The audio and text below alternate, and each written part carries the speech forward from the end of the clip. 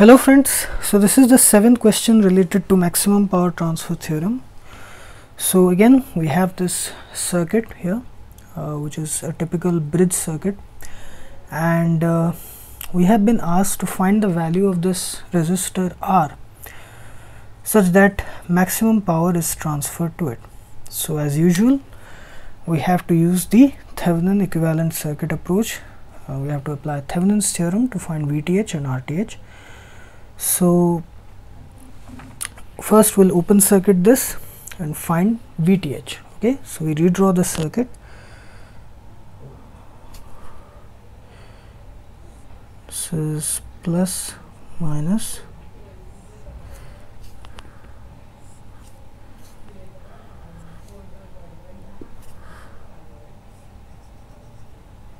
This is 80 kilo ohm and this is 20 kilo okay and here this is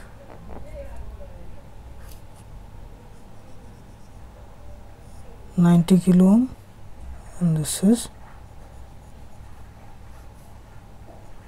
ten kilo ohm. And this is open circuited.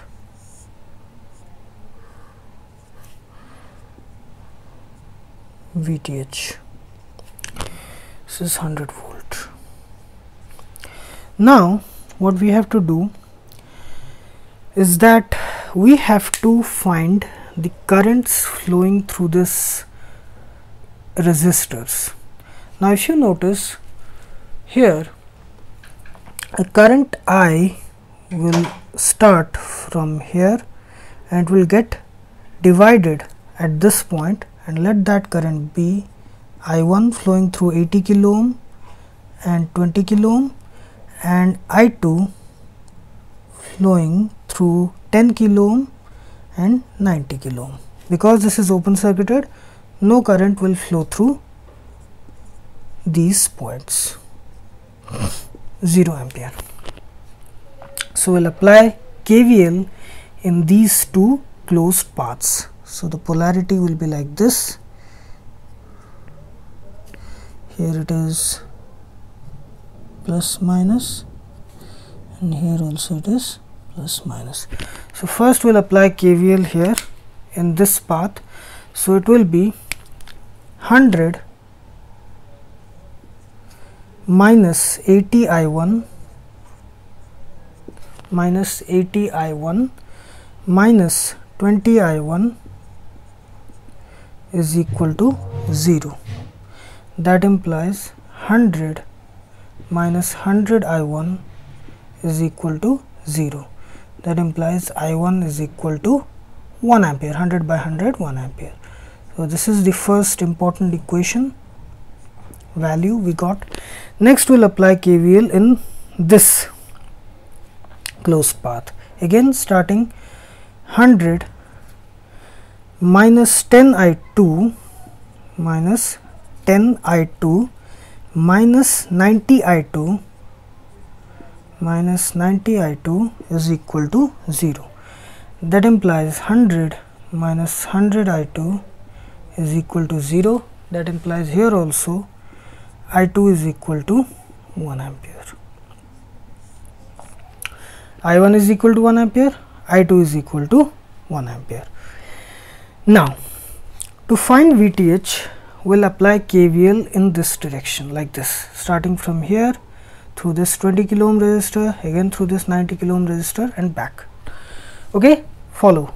VTH like this, like this, will apply KVL. So, that KVL equation will be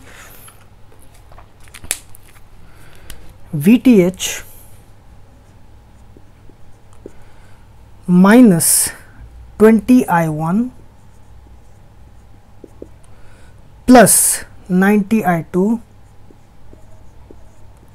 see here the direction of KVL is from plus to minus. So, that is why I wrote it 20 I1, but here the direction of this KVL is from minus to plus as per the voltage polarity minus to plus. So, that is why it is plus 90 I2. So, I have already discussed about voltage polarities in a resistor how to apply KVL in different ways in the previous videos. Uh, I think in the first few videos I have discussed. So, please check uh, check those videos if you have any doubt. Okay. So, it is VTH minus 20 I1 plus 90 I2 is equal to 0. That implies VTH minus 20 into 1 plus 90 into 1 is equal to 0. That implies VTH is equal to minus 90 plus 20 which is equal to minus 70 volt. So, VTH we have got equals to minus 70 volt. So, we have got VTH now we have to find RTH. Okay. So, VTH is equal to minus 70 volt. So, we have already found out VTH is equal to minus 70 volt. Now, we have to find RTH. So, for that we have to deactivate the independent sources on this circuit we have only this 100 volt independent voltage source. So, we will short circuit that. So, by doing that the circuit will become like this. Okay. Uh, just redraw the circuit. This is short circuited. This is 80 kilo ohm this is 20 kilo ohm this is 10 kilo ohm and this is 90 kilo.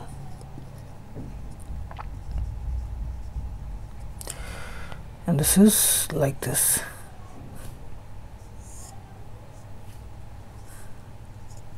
Now this circuit uh, here this is actually something like this. If you notice this is something like this to make it simpler we can draw it like this.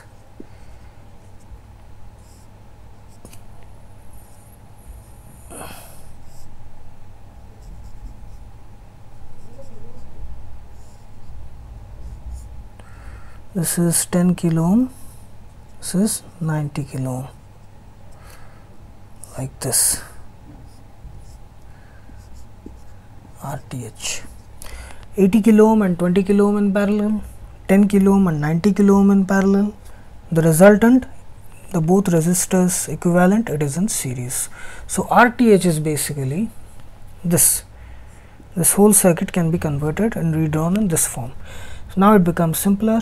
RTH is equal to 80 parallel 20 plus 10 parallel 90 which is equal to 80 into 20 by 80 plus 20 which is plus uh, 10 into 90 by 10 plus 90 which is equal to this is 1600 by 100 which is 16 16 kilo ohm plus this is 900 by 100 which is 9 kilo ohm. Okay this is 1600 by 100 this is 900 by 100 so this is 25 kilo. RTH is equal to 25 kilo. So we have got both VTH and RTH now as per the statement of maximum power transfer theorem, for maximum power to be transferred to any particular resistor in a circuit, the value of that resistor should be equal to the Thevenin resistance. So, here the Thevenin resistance it is minus 70 volt VTH and here it is RTH is equal to 25 kilo ohm. So, the value of R should be equal to RTH which is equal to 25 kilo ohm and the maximum power that can be transferred to this resistor R PR max is equal to VTH square by 4 RTH this also we have derived. So this is minus 70 square by 4 into 25 kilo ohm which is 4900 divided by 100 which is around 49 milliwatts. Why? Because it is in kilo ohm okay? It is in kilo ohm so 49 milliwatts. So PR max is equal to 49 milliwatts. Okay? Yes. So this is the seventh question related to maximum power transfer theorem which we have discussed